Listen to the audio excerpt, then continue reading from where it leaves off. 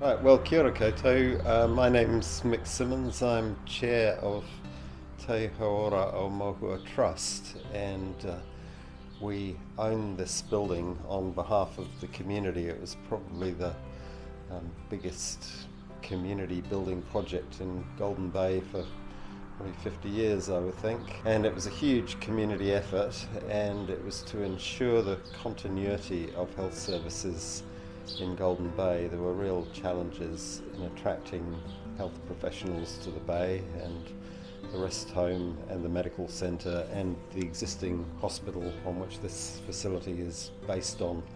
The sort of the brief that we gave to the architects was to try and make something that was as um,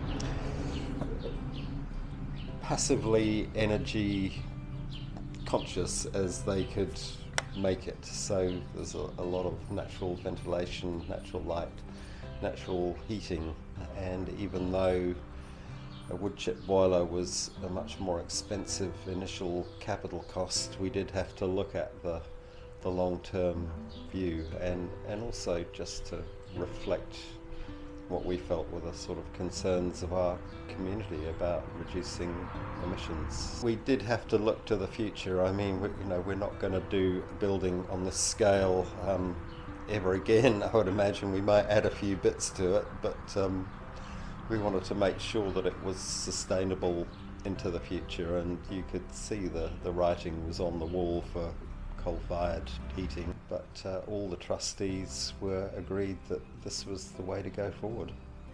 Well, Golden Bay is a, a pretty environmentally conscious community, and it, it, was in the back of our mind that this would reflect poorly on our community if we had a, you know, a coal belching chimney stack here.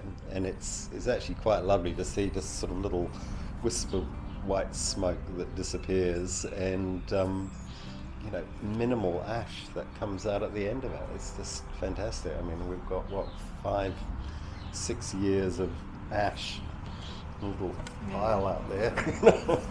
Whereas if there'd been coal slag, there'd be mountains of it. So you know, that's a a consideration too, and um, you know also the transport that's involved in bringing stuff over. It's lovely to have a um, you know a, a, fuel source that is um, you know relatively local, but um, it's pretty clear that coal is going to be you know priced off the market in the next 10 years I would say so we are very fortunate that we um, we took this decision when we did because um, it's going to be it would be very expensive to actually have to replace the boiler system.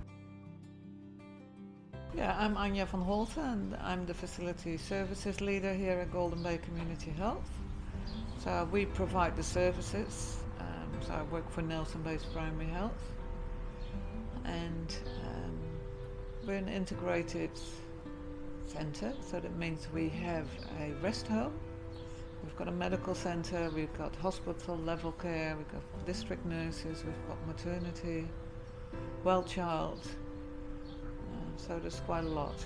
Well, I'm really happy that the uh, uh Te Trust decided to go with wood chip because we're here about health and assisting people to stay healthy and a big part of that is the environment.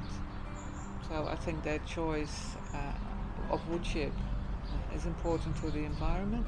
So we've always found that if we need a load of wood chip, it's just a matter of giving them a ring and um, yeah, the next day or whenever we need it, they will supply it. So that has always been really good. And the drivers have always been very helpful and friendly. We've had a good working relationship. There were some things to work out, but uh, I think uh, we've done that well. So we've worked the things out that needed to be worked out. And um, that, I believe, uh, has strengthened our relationship. We were invited by Azwood to go and visit their site and that was really nice to have a look uh, uh, how things were working at their end.